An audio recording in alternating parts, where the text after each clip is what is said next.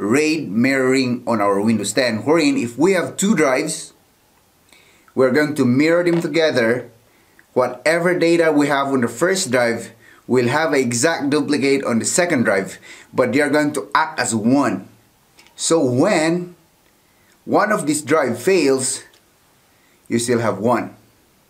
Because if you have only one drive and your drive fails well of course you're going to lose all the data you have there a kind of backup thing with your home setup out there or even small offices. So that's what we're going to do and it's quick and simple. If you have a PC of course that's where we're going to put the one like that open this one. Those are actually SATA ports where we can plug these drives but in the case of this um, uh, demo I'm not going to use a PC I have actually a Wavlink uh, docking station. It looks like this and I can put at least two drives here and then plug it to my laptop so that we can configure RAID. But of course, if you are going to set up RAID, it is much better if you are going to use it inside that PC. I'm just going to plug this one like that so you can see. And then the other one will be like that. And then we can power this one on power on. Okay it's going to turn on.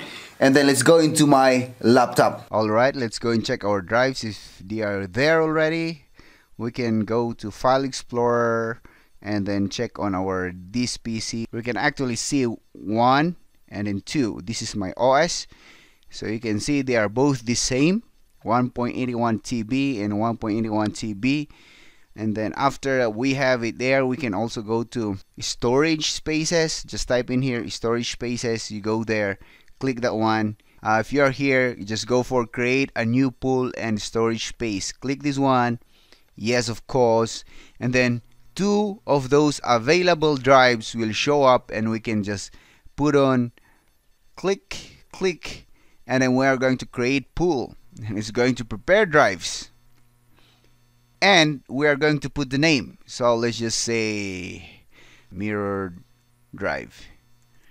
I'll just put in here Z. So that will be the last letter. And then file system we can just choose NTFS and then here we go two-way mirror. This is what we're going to do because we only have two drives so we can just go for two-way mirror. This is the maximum we can use because we are actually mirroring both drives so it is like they are going to act as one. Create storage. And then formatting formatting. Let's see what happens. Alright it's done. Mirror drive Z is there. I want to close this one okay this is the status. You can see it here physical drives. You can see both drives are here one and two but this is their combination together. They are acting as one. And then we can go here you can see mirrored drive Z. Uh, new folder new folder files. Now I just want to test this one. If we remove one drive what will happen? So both drives are here and then I have the file there. I'll just plug unplug this one okay? I'll just boom! And then what happened? The pool is removed. You see what happened? The the the pool was removed and it says buddy uh, we have an error here. The other drive is disconnected. Reconnect the drive. And what happened to my file? Let me see. Where's my file man? Hey you show me my file there you go.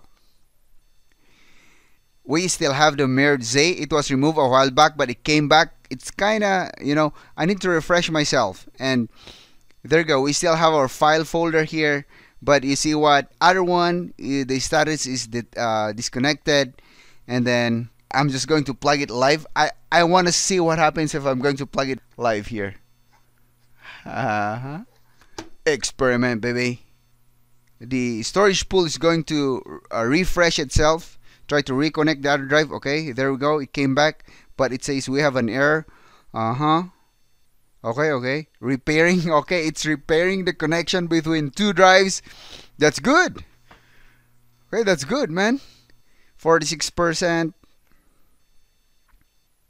55 uh, it's kind of wait it's a little bit fast it's a so in a live scenario, you can, even if the other drive will fail, it's good, man. It's good. Oh, it's fine. It's done. It's okay. let's go back there. They're good. Uh, huh. Let's go to my file explorer. Where is my folder? Okay, there you go. Very nice one, huh? So you can actually do uh, like what I said. Two is one, one is none, and basically doing a RAID mirroring is very simple.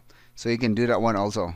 So if it's your first time in my YouTube channel, if you want to see more videos like this that you can do DIY stuffs, you you make sure to subscribe in my channel, like my videos, and share it with your friends. And until next time, guys, I'm out.